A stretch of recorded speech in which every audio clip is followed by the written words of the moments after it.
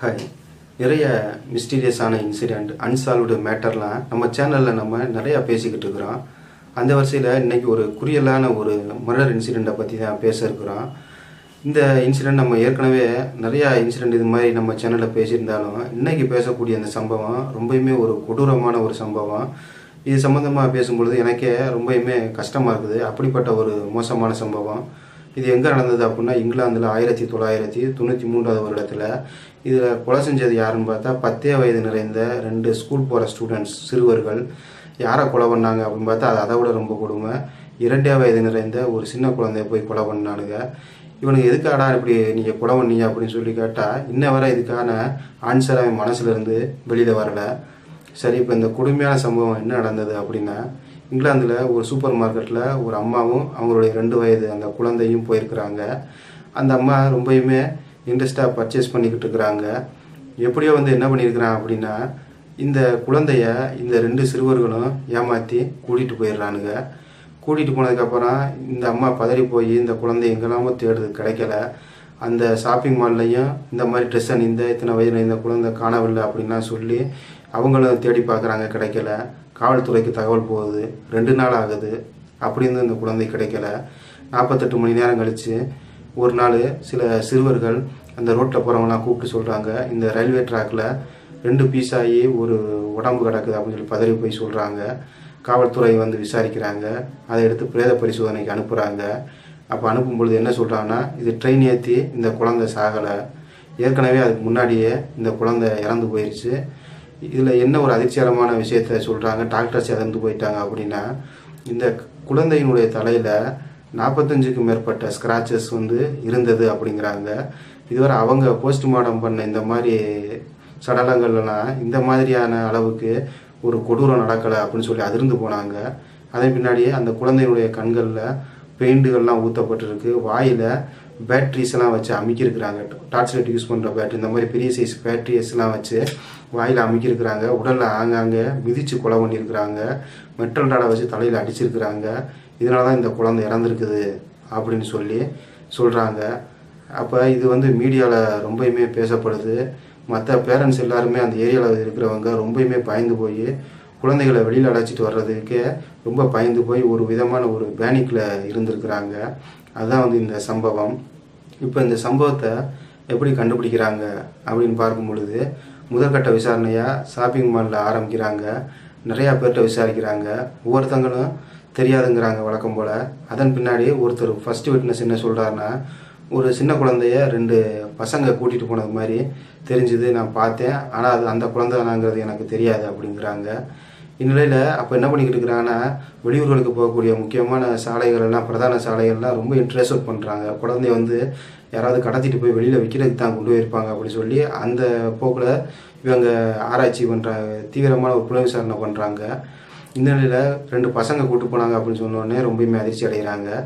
அதன் பின்னாடி இரண்டாவது ஒரு விட்னஸ் என்ன சொல்கிறாங்க அப்படின்னா ஒரு ரெண்டு பசங்க ஒரு குழந்தைய கூட்டு போனாங்க அந்த குழந்தை அழுதுகிட்டு இருந்துச்சு. என்ன விஷயம் கேட்கும் பொழுது இது வந்து ஒரு பையனுடைய தம்பி அதாவது அவங்க இந்த இன்சிடெண்ட்டில் சம்மந்தப்பட்டவங்க யார் அப்படின்னா ராபர்ட் தாம்சன் அண்டு வெள்ளபெல் அப்படிங்கிற ரெண்டு சிறுவர்கள்.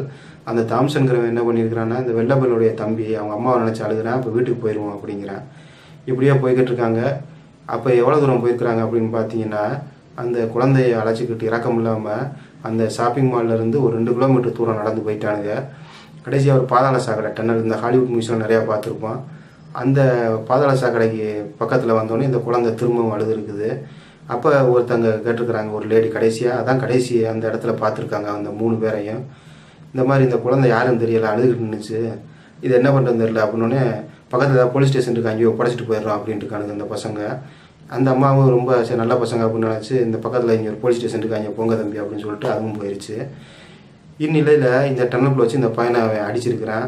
தலையில் ரத்த காயம் ஏற்பட்டுச்சு உடனே என்ன பண்ணியிருக்காங்கன்னா இந்த காலரோட போடக்கூடிய ஒரு டிஷர்ட்டை எடுத்து அந்த பையனுடைய தலையில் போட்டு சுற்றி அப்படியே கொண்டுட்டு போயிருக்கிறான்.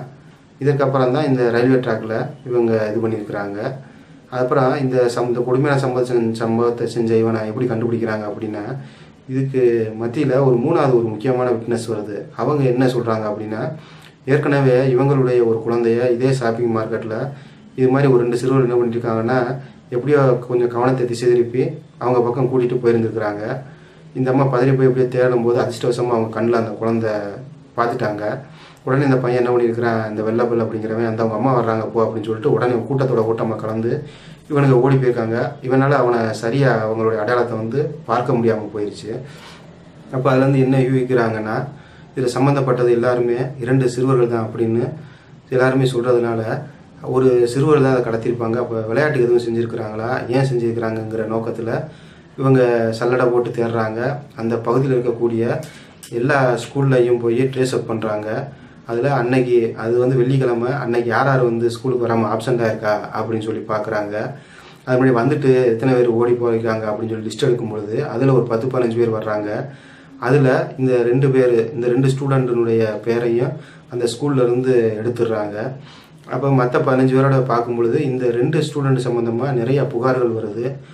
இது சம்மந்தமாக விசாரிக்கும் பொழுது இந்த நிலையில் நான்காவது ஒரு விட்னஸ் அவங்க என்ன சொல்கிறாங்கன்னா வழக்கமாக இந்த பக்கத்தில் ஒரு ரெண்டு பசங்க திருவிவாங்க அவங்க என்ன பண்ணுவாங்கன்னா கையில் கிடைக்கிற பொருள்களை எல்லாம் திருடிட்டு போயிடுவாங்க அப்படின்னு சொல்லி ஒருத்தர் வாக்குமூலம் கொடுக்குறாரு. அப்போ இந்நிலையில் ஒரு ஃபோன் கால் வருது. அதில் கொலை பண்ணவன் குறிப்பாக இந்த ஸ்கூல் ஸ்டூடெண்ட்டாக தான் இருப்பான் அப்படின்னு சொல்லி ஒரு குழு கொடுக்குறாங்க. ஆனால் சொன்னவர் அவருடைய பேரை சொல்லாமல் கட் பண்ணிடுறாரு. இது ஒரு குழுவாக எடுத்துக்கிறாங்க. அப்புறம் சிசிடிவியினுடைய ஃபுட்டேஜில் ஒரு படம் வந்து விழுகுது. அதாவது ஒரு குழந்தைய ஒரு பையன் கூட்டிட்டு போகிற மாதிரியும் அவனுக்கு முன்னாடி இன்னொரு பையன் போகிறது மாதிரியும் ஒரு படம் இருக்குது ஆனால் தெளிவாக அது இல்லை. அதன் அடிப்படையில் அதையும் எடுத்துட்டு இவங்க விசாரிக்கிறாங்க. இந்நிலையில் நிறைய பேரில் ஒருத்தவங்க மட்டும் கரெக்டாக சொல்லிட்டாங்க. இந்த ஸ்டூடெண்ட் வந்து இந்த ஸ்கூலில் தான் படிக்கிறான். அவன் வந்து நிறையா திருடெல்லாம் செய்வான். அவனாக தான் இருக்கும். நீங்கள் அவனை எதுவும் விசாரிச்சு பாருங்க அப்படின்னு சொல்லி ஒரு ஒருத்தங்களும் ஒரு விட்னஸ் கொடுக்குறாங்க இவன் மட்டும் இல்லை நிறையா பேரை வந்து விட்னஸ் கொடுக்குறாங்க. நாலஞ்சு வீட்டில் போய் சர்ச் பண்ணி பார்க்கும் பொழுது ஒரு வீட்டில் மட்டும் இவன் போய் பார்த்துருக்குறாங்க. அப்போ பார்க்கும் பொழுது ஏற்கனவே ஒரு விட்னஸ் என்ன சொல்லியிருக்காரு அப்படின்னா ஒரு பையன் அந்த சம்பவம் நடந்த அன்னைக்கு வெள்ளிக்கிழமை பையில் வந்து ஒரு பெயிண்ட் பா டப்பா வந்து வச்சுருந்தான் அப்படின்னு ஒருத்தர் சொல்கிறாரு இன்னொருத்தர் வந்து என்ன அடுத்த விட்னஸ் என்ன சொல்லியிருக்காருன்னா அந்த பையன் பா பார்க்கும்பொழுது அவன் சட்டையில் வந்து பெயிண்ட்டை வந்து அவன் அவன் சட்டையில் சிந்தி இருந்துச்சு அப்படின்னு சொல்லி அவரும் வந்து ஒரு விட்னஸ் வந்து கொடுக்குறாரு. அப்போ இதெல்லாம் மேட்ச் பண்ணி பார்க்கும் பொழுது அவனுடைய சூழ ரத்தக்கரை இருந்திருக்குது. அவனோட வீட்டில் வந்து அவனுடைய சட்டையை செக் பண்ணி பார்க்கும்பொழுது அதில் ஒரு சட்டையில் அந்த ப்ளூ கலர் பெயிண்ட் பெயிண்டானது ஒட்டியிருந்தது தெரிய வருது. அதாவது என்ன பண்ணியிருக்கிறான்னா தவறை செஞ்சுட்டு அந்த தடயங்கள்லாம் வந்து வீட்டுக்குள்ளே போய் ஒழிச்சு வச்சிருக்கிறான். அதனால் அந்த ஈஸியாக வந்து இவங்க மாட்டிக்கிட்டாங்க. இவனை பிடிச்சி விசாரிக்கிறாங்க. ஏன்டா அப்படி செய்கிற அப்படிங்கும்பொழுது முதல் இரண்டு நாள் இவன் வாயவே திறக்கலை. ரொம்பவுமே அமைதியாக இருக்கிறான். மூன்றாவது நாள் தான் என்ன சொல்கிறான் அப்படின்னா நான் கொலை செய்யலை இதை கொலை பண்ணது இந்த ராபர்ட் தாம்சன் அப்படிங்கிற என் ஃப்ரெண்டு தான் பண்ணுனேன் நான் கூட தான் நின்னேன் அப்படின்னு சொல்கிறான் அவனை தனியாக வச்சு விசாரிக்கும் பொழுது அவன் இவனை சொல்கிறான் கடைசியில் இந்த ராபர்ட் தாம்சன் உண்மையை ஒத்துக்கிறான். நாங்கள் வந்து அவனை மெட்டல் ராடால் அடித்தோம் கண்களில் பெயிண்டை ஊற்றினோம் மிதிச்சு கொண்டோம் அப்படின்னு வாக்குமூலம் வந்து கொடுத்துட்றான். அப்போ ஏன்டா பாவியலா அப்படி செஞ்சீங்களா அப்படி அப்படின்னு கேட்கும் பொழுது அதுக்கு எந்த பதிலும் அவன் சொல்லாமல் மௌனமாக இருந்திருக்கிறான். அதன் பின்னாடி அவனை கோர்ட்டில் ப்ரொடியூஸ் பண்ணுறாங்க இவன் சம்மந்தமாக முப்பத்தி ஏழு விட்னஸ் வந்து வர்றாங்க வந்து சாட்சி சொல்கிறாங்க எல்லாருமே இந்த சிறுவனை தான் சொல்கிறாங்க இவனை மாதிரி தான் இருந்தான் யாரோ ஒரு ரெண்டு சிறுவர்கள் போனாங்க இவன் தான் தெரியாது ஆனால் இவனை மாதிரி தான் இருந்தாங்கங்கிற மாதிரி சொல்கிறாங்க அதில் ஸ்ட்ராங்காக அஞ்சு விட்னஸ் இவனை அடையாளம் காமிச்சிடுறாங்க. மேற்கொண்டு இவன் சூழ படிந்த அந்த இரத்தக்கரையும் அந்த குழந்தையினுடைய இரத்தக்கரையும் மேட்ச் ஆயிடுது அதில் ரெண்டு பேரும் மாட்டிக்கிறாங்க கடைசி வரைக்கும் ஏன் அந்த மாதிரியான ஒரு மோட்டிவ் வந்து இவன் மனசுக்குள்ளே இருந்தது இவன் ஏன் அப்படி செஞ்சான் அப்படிங்கிறதுக்கு எந்தவித ஒரு ஆன்சரும் கிடைக்கல. இவங்க மைனர்ஸ் அப்படிங்கிறதுனால எட்டு வருட தண்டனை கொடுத்து ஜெயிலில் அடைக்கிறாங்க. அதன் பின்னால் இவனுக்கு வெளியில் வர்றாங்க. வெளியில் வந்து திரும்ப சும்மா இல்லை. டிஃப்ரெண்ட்டான ஐடென்டிட்டியில் வந்தாலும் மீண்டும் குழந்தைகளை அப்யூஸ் பண்ணுறதுக்காக நிறைய ஃபோட்டோஸ் குழந்தைகளுடைய ஃபோட்டோஸை இவனுடைய அந்த ராபர்ட் தாம்சன் என்ன பண்ணியிருக்கிறான் அவனுடைய சிஸ்டத்தில் சேவ் பண்ணி வச்சுருக்கிறான். இவனை தீவிரமாக கண்காணித்த காவல்துறையினர் என்ன பண்ணுறாங்கன்னா இந்த காரணத்துக்காக இவனை திரும்ப பிடிச்சி மூணு வருஷம் ஜெயிலில் போட்டாங்க. அதன் பின்னாடி வெளியில் வந்தான் இவனை வெளியில் விடக்கூடாது இவனை உள்ளே வச்சிடணும் அல்லது உனக்கு தூக்கு தண்டனை கொடுத்துடணும் அப்படின்னு சொல்லி நிறையா பேர் வாதிட்டு வந்தாங்க. அப்படிப்பட்ட ஒரு கொடுமையான இரண்டு சிறுவர்கள் இவருடைய வாழ்க்கையில் ஏன் இந்த மாதிரி நடந்தது ஒரு பச்சிளம் குழந்தைய போய் ஏன் அப்படி செஞ்சாங்க அப்படிங்கிறதுக்கு இவங்ககிட்ட இருந்து ஒரு தெளிவான ஆன்சர் இன்று வரை கிடைக்கல. அப்படிப்பட்ட ஒரு மோசமான சம்பவம் இது. பொதுவாக இந்த மாதிரியான சம்பவங்களுக்கு காரணம் என்ன? நிறையா பேர் முப்பது பேருக்கு மேலே இந்த இவங்க அந்த குழந்தைய கூட்டு போகிறத வந்து பார்த்துருக்குறாங்க.